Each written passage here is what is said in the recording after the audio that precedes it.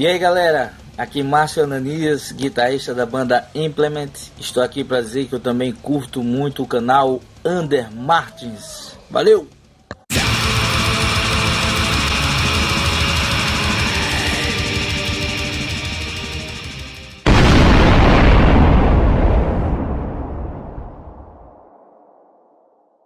Sejam todos bem-vindos ao canal Undermarts, mais um vídeo chegando pra você.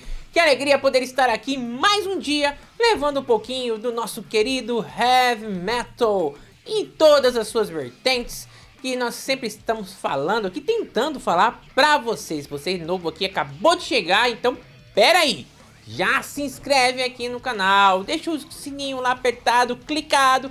Todo vídeo que sair aqui desse canal vai chegar aí a notificação para você, tanto os vídeos de domingo quanto os vídeos da semana, o Undertalk, que tem sido muito legal, muitas entrevistas maravilhosas, pessoas, gente boa demais.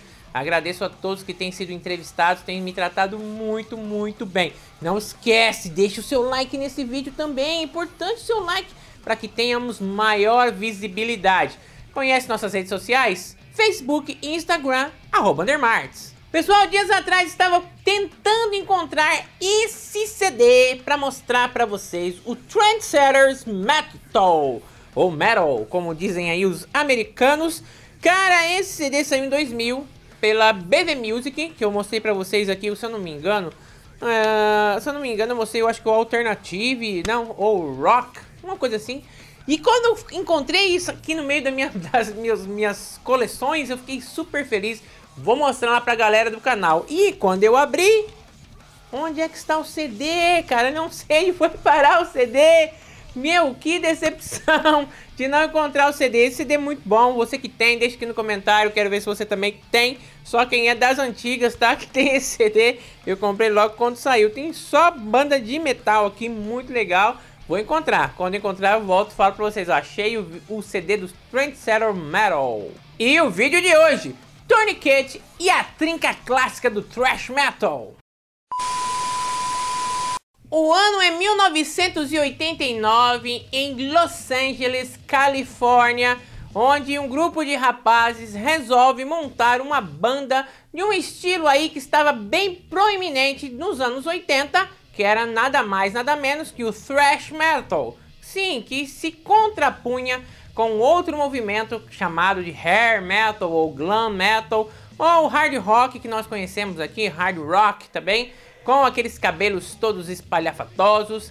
Eis que surge então o Tourniquet, sim, uma banda americana que tentou pegar o thrash metal, ah, quase que não sai, né? tem que pôr a língua aqui no meio dos dentes, mas não era aquele thrash metal que o Metallica fazia, que o Megadeth fazia, o Anthrax, e pouco menos o Slayer. Apesar de que muitas pessoas falam assim: olha, essa música aqui lembra um pouco o Slayer, olha, essa música aqui lembra tal banda. Mas o Tourniquet ele fez uma salada, uma salada que deu certo, misturando thrash metal, speed metal, uh, que mais? Heavy metal tradicional, alguma coisa também de punk, hardcore em algumas partes, músicas clássicas, cara, músicas assim diferentes, cara.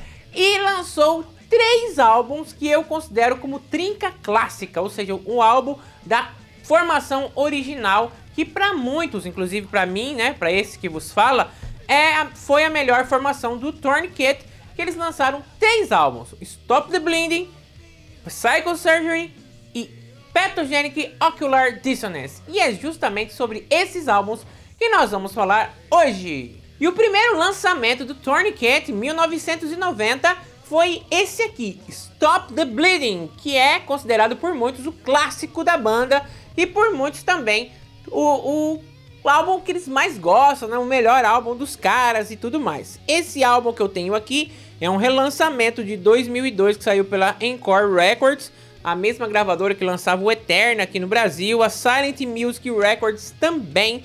Apesar dele ter sido lançado né, em 1990, né, mundialmente, essa minha versão aqui que eu peguei com o meu querido Thiago Machado, lá de Salvador, meu rei, meu bom, mandou esse CD aqui pra mim.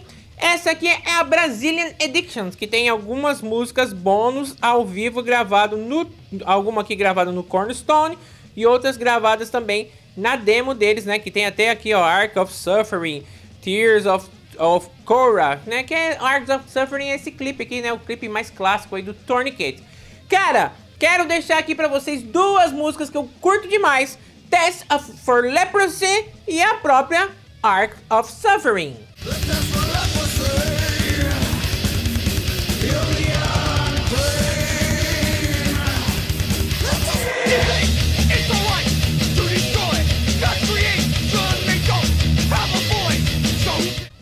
Após o lançamento de Stop the Bleeding, lá vem outra paulada, outra pauleira, que é o Psycho Surgery, que é esse CD aqui, cara, Psycho Surgery. Cara, muito, muito bom, cara, sinceramente, vocês vão ficar até bravos comigo, alguém aí, mas eu gosto até mais desse do que do Stop the Bleeding e, ou do Petogenic. Esse meu CD aqui é um relançamento de 2001, que saiu aqui, tá? É, foi o Renato, meu querido amigo Renato, mandou pra mim. Cara, esse aqui tá bem trachão, viu, cara? Bem, apesar de ter aqui algumas outras influências de outros estilos, mas, cara, Psycho Surgery é bom demais. Quero deixar para vocês aqui duas músicas, um pedacinho, né, de duas músicas para vocês, que é a própria Psycho Surgery, que é a primeira aqui, né? E a Cadê aqui a música que eu ia fazer para vocês, gente?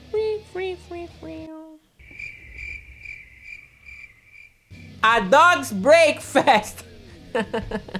Eu e meus erros, né? Então fica aí pra você Psycho Surgery um pedacinho e a Dogs Breakfast.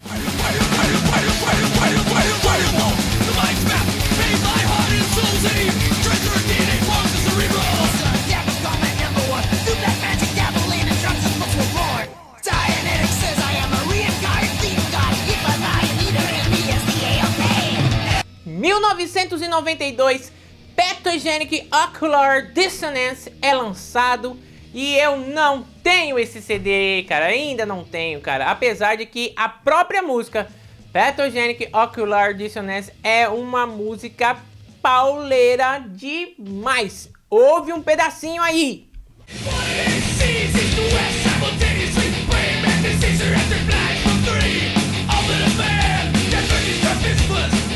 E a outra música que eu destaco é Exoskeletons.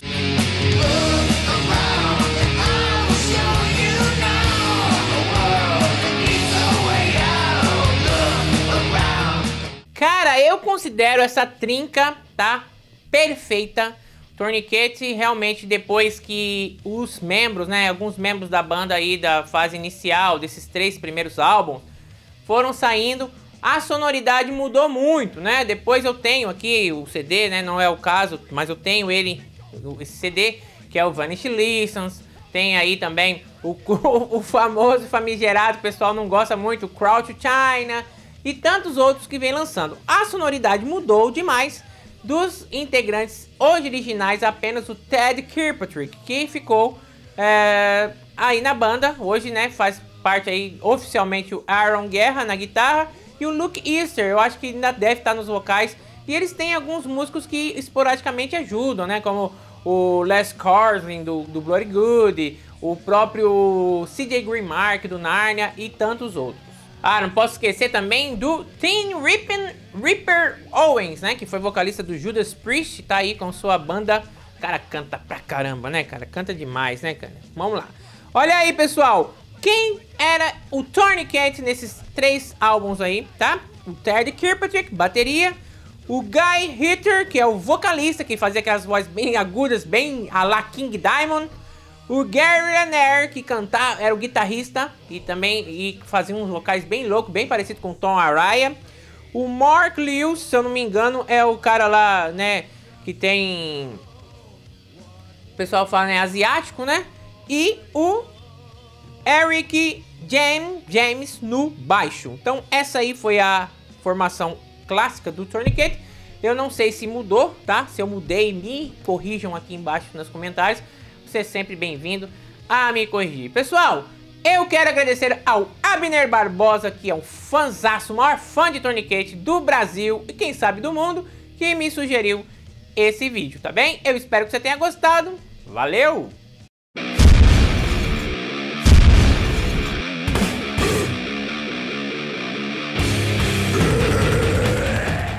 Momento do Underground Nacional, onde sempre estamos falando das bandas brasileiras, brazucas, brasilis.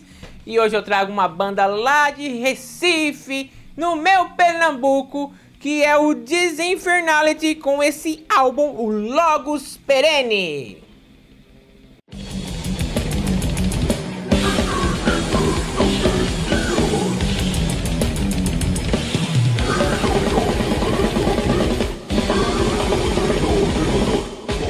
Cara, esse CD me surpreendeu.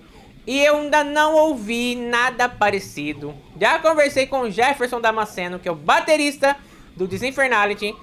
Cara, eu não consegui encontrar uma banda que fizesse um som tão diferente e tão bom quanto esse Logos Perene, cara, do Disinfernality. Mudou a formação, tá? Sempre tô conversando com o Jefferson. Eu consegui pegar esse CD aqui, cara é, com meu querido Reginaldo Tourniquet, né? É o apelido dele, né? Cara, esse CD saiu pela Noise Records, mas a, a Resistance Records, se eu não me engano, que é a gravadora do Duane, também lá da Visions of God, também possui aí a, os direitos autorais. Cara, esse CD é um death metal totalmente diferente, técnico, técnico, técnico e técnico. Até o baixo, cara. Eu nunca tinha visto uma banda de death metal que, fiz, que o, baixo, o baixo fizesse umas levadas, uns two hands. É um negócio doido, cara, tá? Se você não conhecia ainda o trabalho do Desinfernality, você tá perdendo, tá? Eu gosto demais do Logos Perene. Já falei com o Jefferson Damasceno, né? Que é o, o baterista. O, quem fazia aqui o baixo era o Jaime Santos. O Whindersson Arruda, que era o guitarrista e vocalista. E eles estão aí com a nova formação, com a nova pegada, em breve mais informações. Mas enquanto não vem o CD novo, fica a dica do Underground Nacional, o Desinfernality com Logos Perene.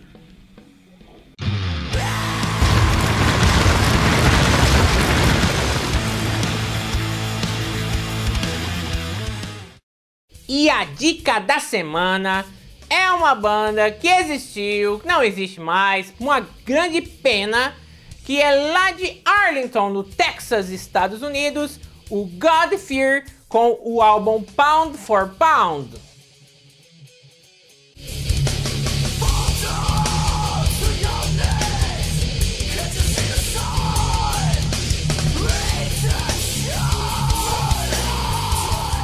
Cara, o God Fear é uma banda que surgiu ali nos meados de 1994 e durou até quase no comecinho ali dos anos 2000, se eu não me engano, encerrou suas atividades em 99. Talvez eu esteja errado, tá bem?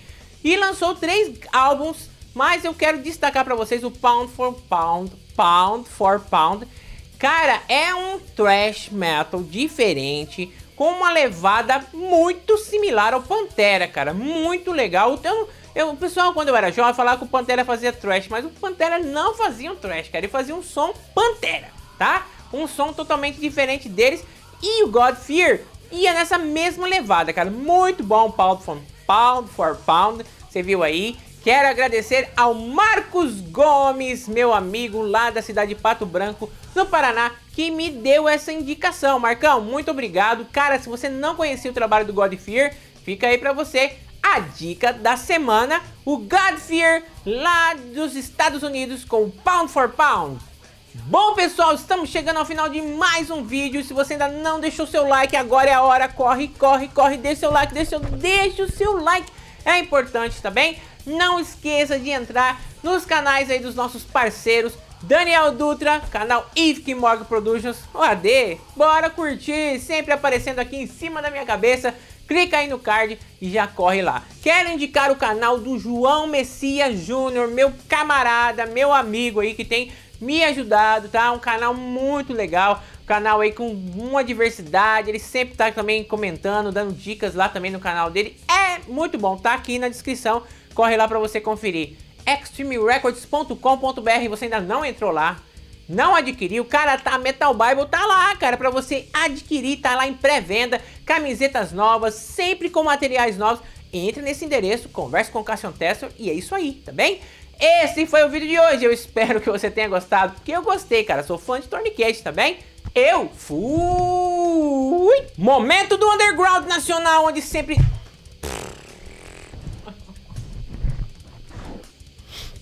Pera aí, tá, gente? Um ano após o lançamento do. Vai lá logo, filho. Vai, bem, tá gravando, bem. Aí, vamos pra ler isso aqui, né? É, tchau. Obrigado, viu, bem?